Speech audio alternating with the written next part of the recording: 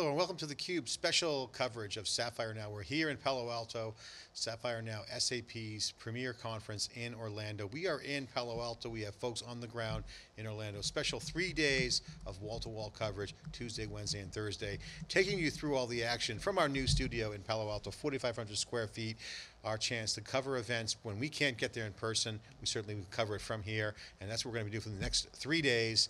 We're going to have stories on the ground. No stories too small. We're going to chase them all down. We have people calling in. We have folks on the ground. Going to be Skyping in, calling in, whatever it takes to get the story out to you. We're going to do it. And certainly expert coverage from inside the studio here. We got George Gilbert from Wikibon and a variety of folks who did not make it to Orlando will be coming into Palo Alto to sit down and talk with us. I'm Jeff Furrier. My co-host is Jeff Frick. Jeff, we'll do whatever it takes. We'll cover from our studio. We'll go to Orlando virtually we got the Twitter hashtag Sapphire Now. We're on that. We have folks on the ground. A lot of great news coming out of Sapphire.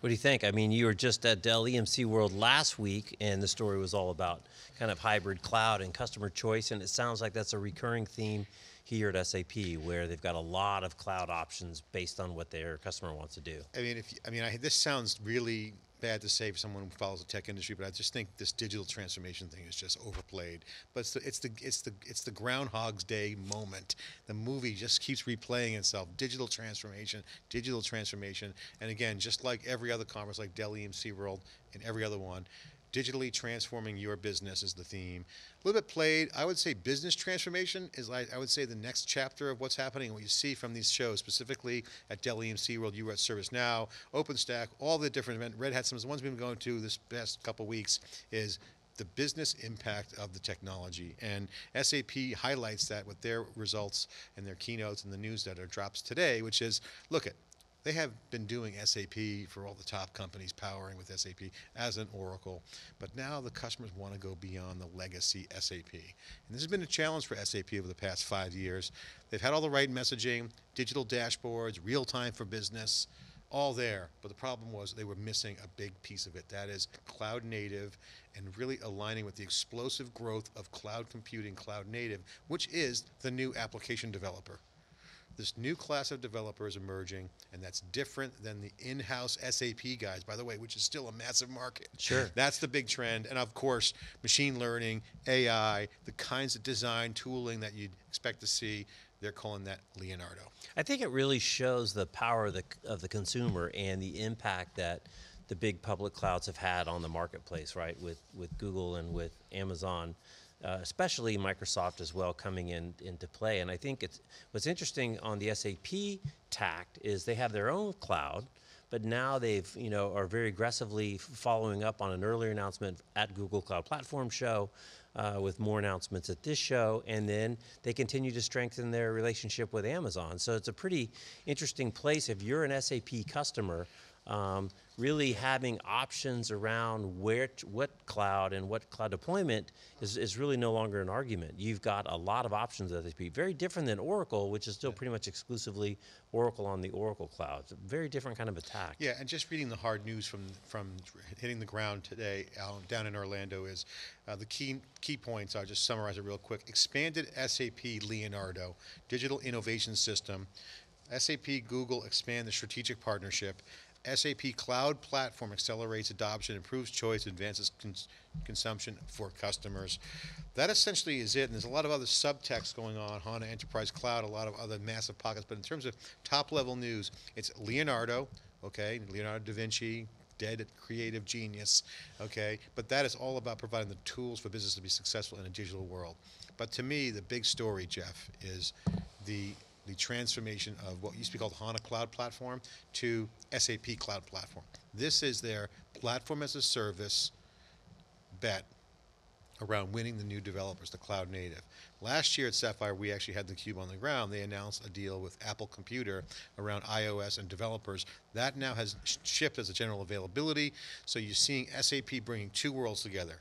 The cloud native world, which they never played in much, to the SAP ecosystem, which is flush with cash. There's a ton of money to be made in that world. The install base is massive.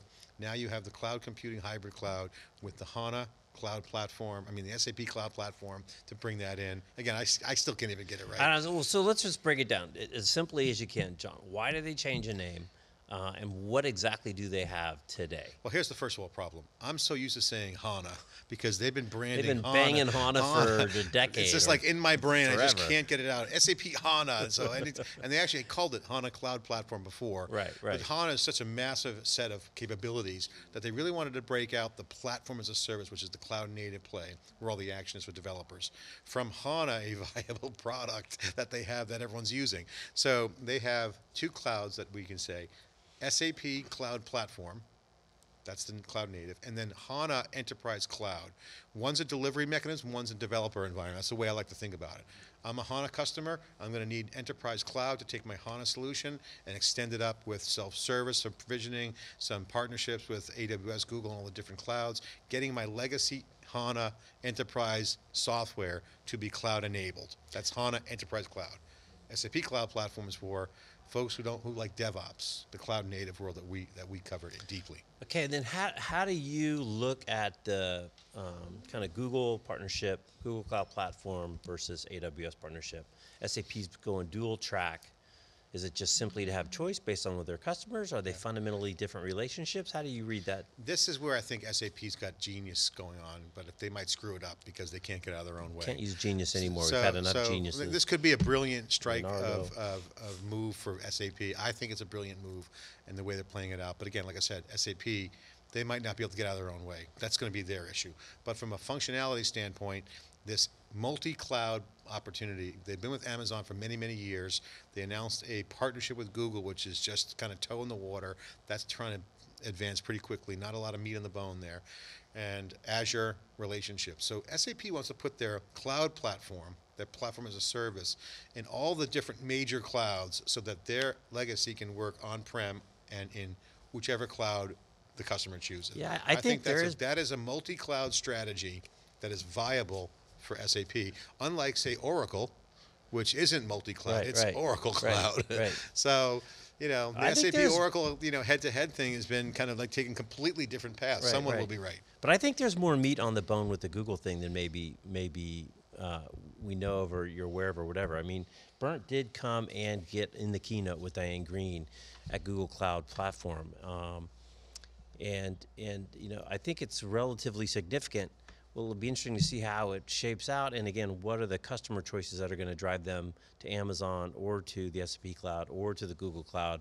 I guess at the end of the day, it's about choice, and I know that was a big theme at, at Dell EMC World is that everyone has to cater to the choice of the customer, or else it's just too easy for them to flip uh, on a lot I of mean, in these other of clouds. Google, I mean, when I say not ready for prime time, I mean Google's got a lot of work to do. SAP as a company is not for as far down the road with Google as they are with Amazon and Azure. Just to make my point clear. Okay. But they did have are announcing um, additional certifications of uh, the co-innovation between SAP and Google, between SAP Cloud Platform and Google uh, Cloud Platform, um, IoT, machine learning. They certified SAP NetWeaver and a variety of uh, S4 HANA, business warehousing, essentially more a marketplace to accelerate the digital transformation. And again, this is all about SAP co-locating in Google. Right, right. And if a customer wants to take advantage of TensorFlow and all the goodness of, say, Google, that's a good move for SAP. And again, I think this is a brilliant strategy for SAP if they don't screw it up. Right, right. And potentially that's the bridge to, like you said, it's been a little bit of Groundhog Day with cloud, cloud, cloud. But what's really the theme of 2017 is AI and machine learning. And it's an interesting bridge with Google Cloud to their TensorFlow as another way to bring AI and machine learning into the applications. Pretty interesting.